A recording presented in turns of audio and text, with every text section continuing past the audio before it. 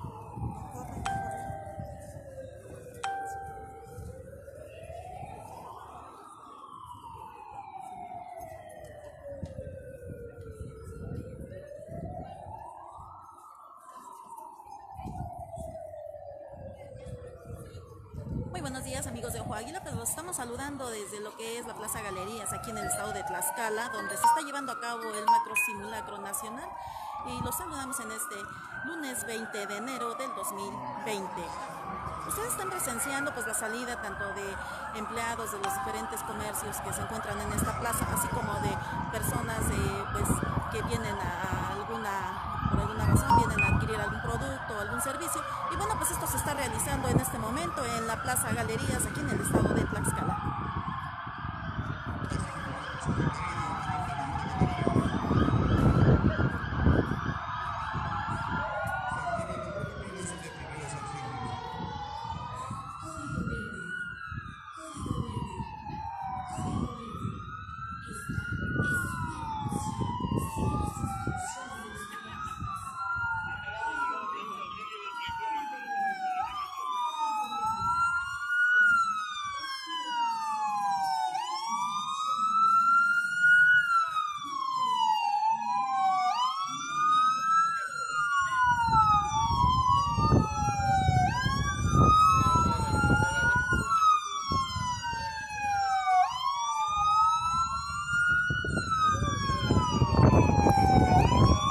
Ustedes pueden ver que bueno, pues la gente se está reuniendo aquí en, en un punto de reunión y bueno, pues para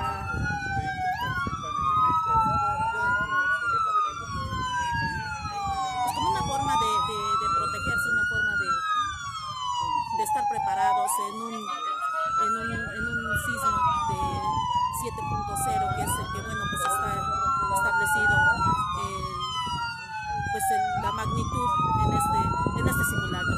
Ustedes están viendo que bueno participan eh, diferentes ah, eh, fuerzas de seguridad y bueno los, los trabajadores, los empleados, eh, la gente que se encuentra en esta plaza pues está llevando a cabo, está participando en este macro simulacro y bueno se, se concentran en lo que es aquí el punto de reunión de seguridad para protección de sus vidas.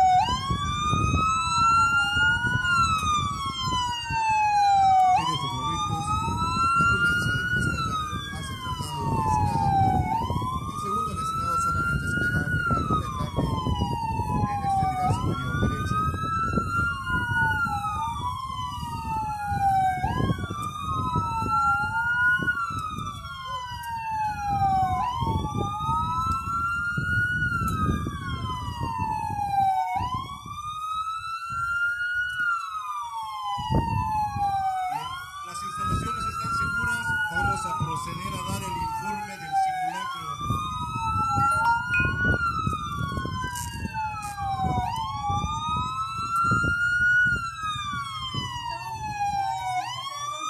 epicentro en Acambay, Estado de México. Brigada, brigada, Hora de inicio 11 puntos, hora de corte de suministro 11.2. Hora de inicio de evacuación 11.1 y fin de la evacuación 11.4. En total somos 470 personas evacuados.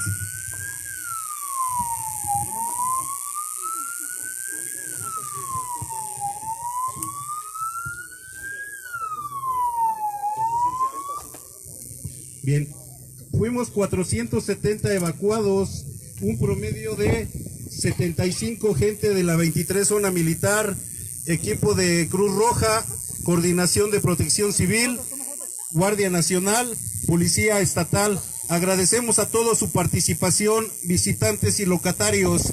Muchas gracias. Este ejercicio es tan importante porque ya nos sucedió en el 2017. Es importante que todos hagamos conciencia de lo importante que es la protección civil. Muchas gracias. Podemos regresar al inmueble, ya se encuentra seguro. Gracias.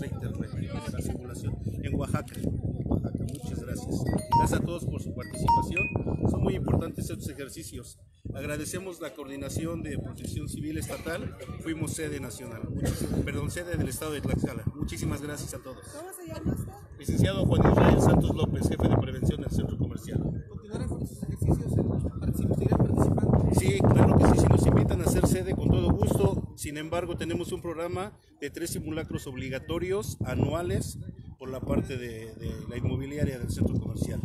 Escuchamos la alerta sísmica, todo se encuentra en aptas condiciones. Todo se encuentra, ya se, se, se reinstalaron los suministros y se hizo la revisión de las instalaciones, no hay ningún riesgo. ¿Cuántas personas integran la brigada de galerías? La brigada de galería está integrada por 35 personas, sin embargo, aunque la plantilla es muy chica, tenemos distintos turnos. Hoy, hoy quisimos que participaran la mayoría. Los locatarios no son parte activa de la brigada, debido a que no sabemos en qué momento puede haber un suceso, puede ser en la mañana, en la tarde o en la noche. La, sonó- la alarma sísmica sonó en punto de las En punto de las 11 sonó la alerta sísmica en el sonido ambiental y también lo hicimos con megáfonos.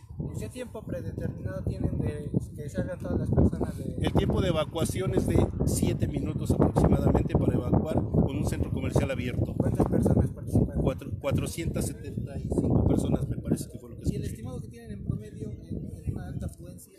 Híjole, en una alta afluencia, si hablamos de un viernes por la tarde, seguramente estaremos hablando hasta de 2.000 personas. En toda la tienda. En todo el centro comercial. También participó la tienda Liverpool. Tienen diferentes puntos de reunión. Seis puntos de reunión en todo el centro comercial, claro.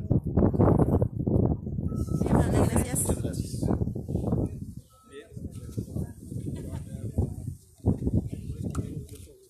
Ahora con ustedes. ¿Cómo están? Buen día. Muchas gracias. Buenos días. Gracias por, por con esta, en esta nueva actividad, o en esta actividad de, la cultura en protección civil. Fue un macrosimulacro a nivel nacional. Se sumaron diferentes dependencias, instituciones, en el cual pues, se logró impactar en Tlaxcala alrededor de 383 eh, inmuebles en 41 municipios diferentes. Eh, es un aproximado de 24 mil personas las que se sumaron a esta actividad y para nosotros es de gran gusto que se siga sumando la- las personas y, y la gente, ¿no? Es, es algo importante para nosotros. Vamos a seguir trabajando en el tema. Este, afortunadamente se siguen sumando a diario las personas en este tema de la cultura en protección civil.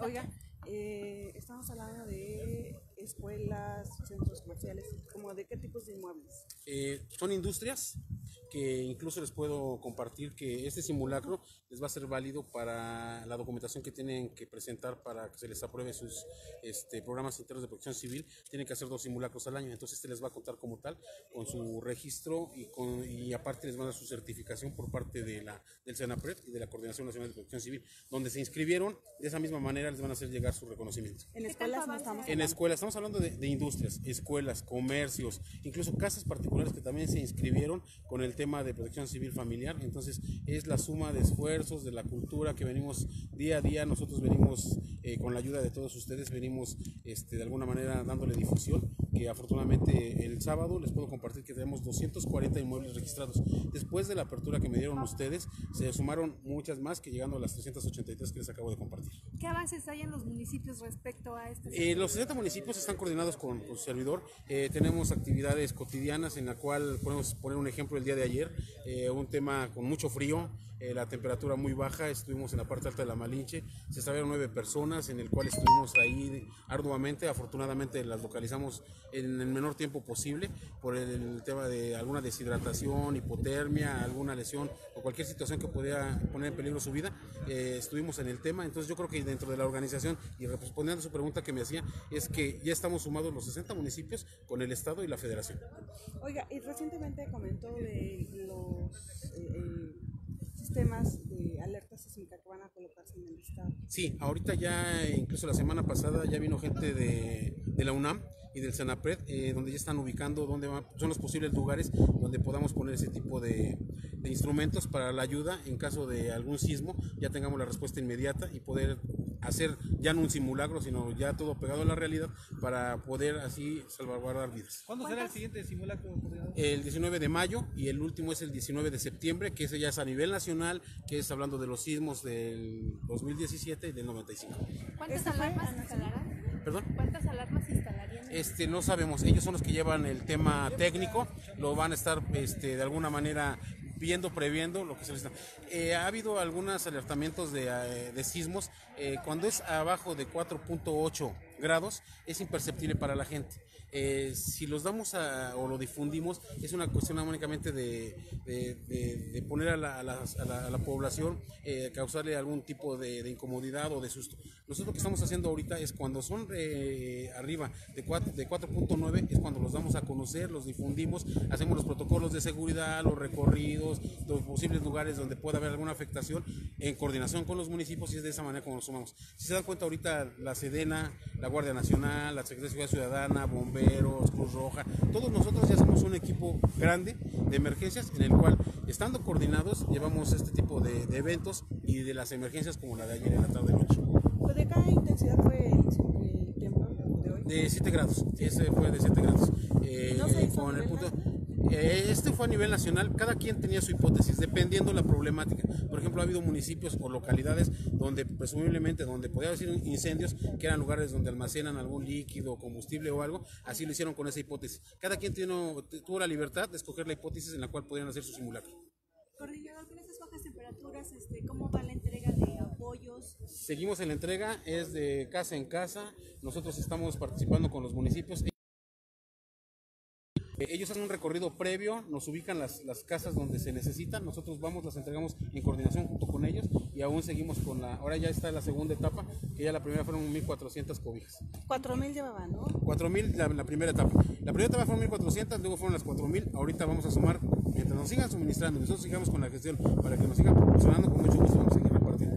Ahorita ya vamos a iniciar nuevamente en la ciudad de Apizaco, pero no es en, en la ciudad de Apizaco, es en el municipio de Apizaco, que es en la colonia Morelos, Tezcalac y Covadonga. ¿Aún no ha habilitado algún albergue? presidente? Están los albergues habilitados. Eh, no los hemos, no ha habido la necesidad de ocuparlos. Eh, como muy importante y un dato a resaltar es que en Tlaxcala está permanente el, el albergue o el refugio temporal aquí en las instalaciones del DIF.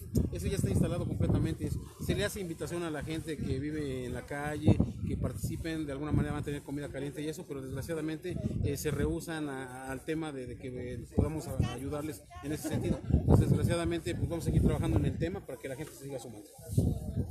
Muchas gracias. No, muchas gracias a todos, ¿eh? Gracias. Gracias. Soy el coordinador estatal de protección civil, José Antonio Ramírez Hernández. Amigo.